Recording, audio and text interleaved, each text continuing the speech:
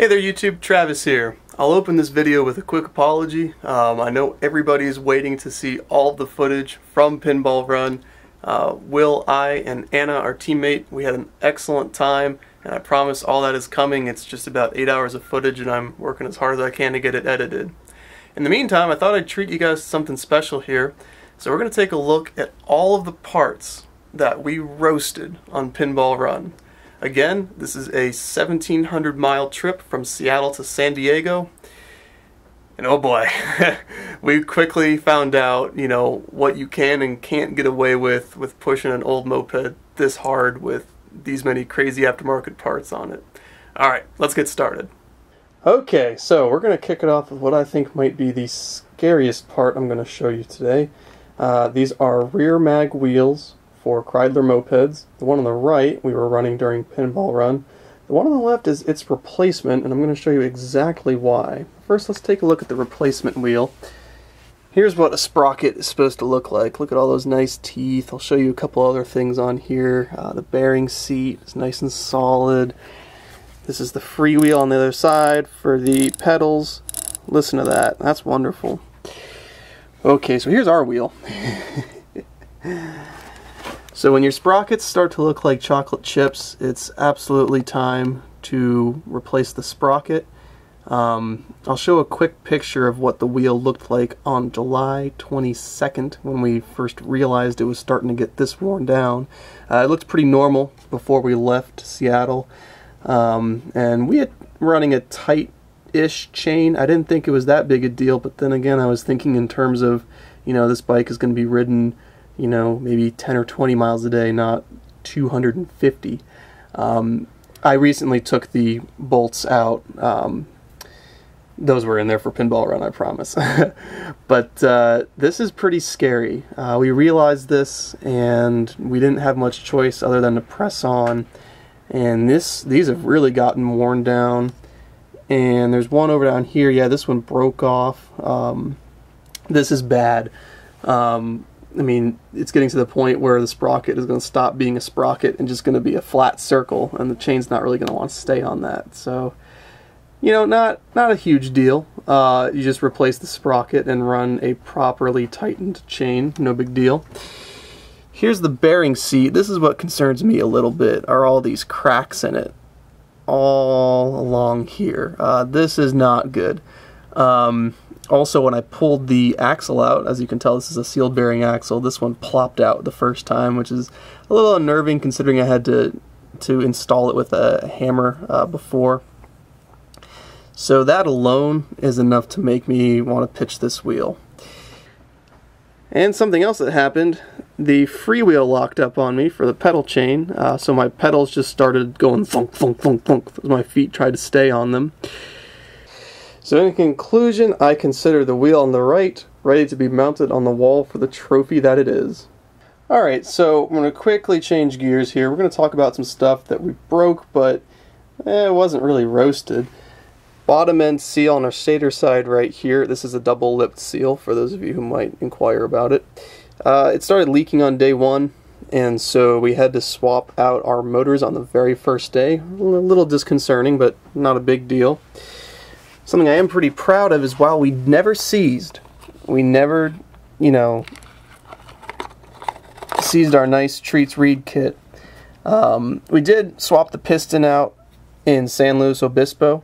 Piston is in fine shape as you can see, considering the fact we were not running a temp gauge. Uh, we ripped it off on the first day out of frustration, but you'll learn more about that in the main video. But the motor was making a knocking sound, and piston looked great. The needle bearing still had all needles and still felt fine. The wrist pin was, seemed to be just fine. Um, I had a whole spare piston, wrist pin, and needle bearing and, and C-clips and all that fun stuff. Um, so we swapped it out and the knocking stopped. I just wonder if maybe somehow, you know, the stuff just all just got just a little worn and and was just giving us a little bit of play right there. But, uh, you know, not necessarily a roasted part, but... Uh, something we had to swap out. Here's our exhaust gasket, well, one of many. Every single exhaust gasket we tried, it would blow it out right here. This is the back side. and made the bike loud, but it didn't really affect how it ran. Um, and every single person we talked to said, "Oh, I bet your, I bet the header on the pipe is just bent because you tightened the two nuts too much." And we took it all off, and it was flat. The mating surface and the cylinders perfectly fine. There wasn't any old gasket up there, and it just kept blowing out every single gasket we put in there. So I said, "All right, well, I guess we'll just run it." So we did. Now here's the most perplexing part. So we were running these single petal reeds, and we just had issues with these carbon fiber reeds, and I don't know if I can get it on camera that well right here, but uh, let me get the light on the camera, maybe we'll get a better look at it. Yeah, they would just break. this was day one. Uh, these reeds broke like this. Uh, the next day, we did okay, and then the third day, uh, our reeds broke like this. So this actually stranded us in Coos Bay, Oregon. Uh, I went to two auto parts stores, a chainsaw shop where I was told we don't do much two-strokes anymore. And then I went to an ATV store and a kindly older gentleman uh, located a used set of fiberglass style reed material and uh, that was able to get us the rest of the way, which was great. I just I'm just kind of perplexed as to how they'd fail like this, but uh, I it might just be a limitation of the design. I'm going to try and get my hands on a nice set of V-block reeds. But that was that. Okay, so now, for the one part in this pile that probably deserves a roasted designation, is this stock E50 clutch. Uh, well, not technically stock, it had kickstart springs in it. But, uh, oh boy, okay, so there is normally supposed to be friction material here uh, at the top of the clutch. Let me show you the other side. There, there really is, um, but there is just nothing. It is down to the bare metal. Um, this is, this is, this is real bad. Um, wow. Uh, so here's the crazy part. Uh, this was running, um, and we got to a huge hill and Will was on the bike, and all of a sudden it just stopped. The motor would rev and rev and rev and nothing. And uh, here's the clutch bell. Of course, we were running Type F because it is a moped. Uh, it was black as night when we drained it out, and the smell, even the smell coming from this bag where I have the parts, is just kind of, it's a little overwhelming. Uh, there's just burning smell. And uh, this was after 800 miles. Uh, this clutch looked brand new before that.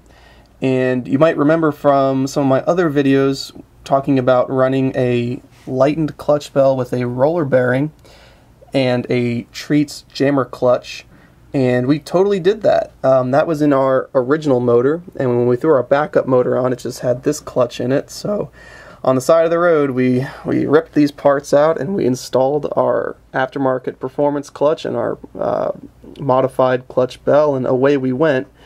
Uh, well, not necessarily Will broke a screwdriver trying to get the brass bushing off the crank after it was stuck there, which was, of course, one of the reasons we wanted to run a roller bearing clutch bell in the first place. But, I mean, whoa, whoa, whoa.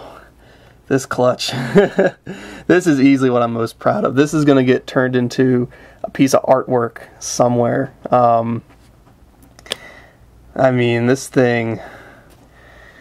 Wow. I mean, it's it's all sorts of messed up. Everything is just is just trashed on it. So I'm proud of it. Um, I mean, it it performed pretty great up until the the very end. Alright there YouTube, I thought that was kind of a fun topic to explore. I just wish I could show you some more content right now. I promise I'm working on editing this massive video. Being able to do updates on the road during pinball was a pretty funny joke I told. Uh, we barely had time to eat and sleep, it was so crazy but a wonderful adventure. So, stay tuned YouTube, and until next time.